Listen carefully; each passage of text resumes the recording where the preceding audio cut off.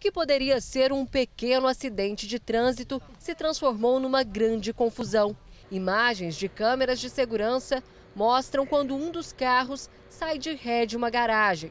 Logo depois, um outro veículo que passa pela rua é atingido. Os motoristas descem e logo a mulher de roupa preta e cabelo loiro caminha na direção do homem e dá um tapa no rosto dele. O óculos da vítima chega a cair no chão. Ele não reage, parece tentar conversar, mas as agressões continuam.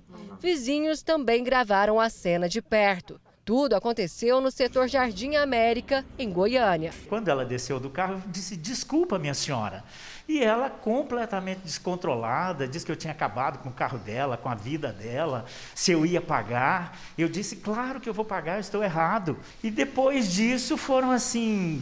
Vários minutos de agressão, xingamentos. Toda a confusão durou cerca ali de 12, 13 minutos. E segundo o Humberto, o carro da mulher que aparece nas imagens não teve sequer um arranhão. Já o dele, olha só, estragou apenas essa parte aqui traseira.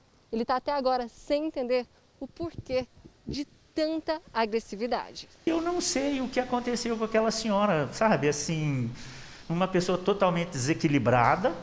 E eu, na minha índole, sou incapaz de agredir uma mulher mesmo com palavras. O empresário conta que assim que chamou a polícia, a mulher entrou no carro e foi embora ele já conseguiu identificá-la e vai processá-la pelas agressões. Eu espero que assim tudo que for possível, o limite do limite, que seja é, destinado em cestas básicas, que sirva de exemplo mesmo. A atitude violenta da mulher chamou a atenção, mas a calma de Humberto em lidar com a situação serviu de exemplo. Se eu tivesse contido ela, somente contido, hoje eu seria o agressor e não a vítima.